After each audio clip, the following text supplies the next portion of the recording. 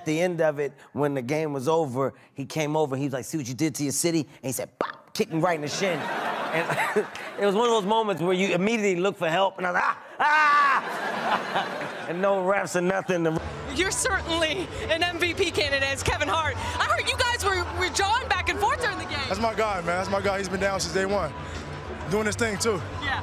He was cheering on Embiid. We saw you going back and He's forth. from here, yeah. He's from here. I had to, I had to show him up a little bit, but uh, it's all love. And like I said, they're, they're a really young team and they play hard. beat my team and get an interview without me doing this.